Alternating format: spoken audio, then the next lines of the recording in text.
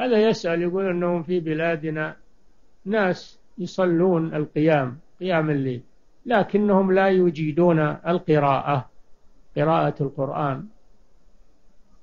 نقول إن كان عندهم من يجيد القراءة فيقدمونه. قوله صلى الله عليه وسلم يا أم القوم أقرأهم لكتاب الله.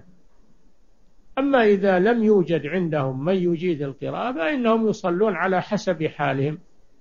لا يكلف الله نفسا إلا وسعها. فيقدمون أحسنهم قراءة ولو كان عند بعض النقص يقدمون أحسنهم الأحسن فالأحسن. نعم.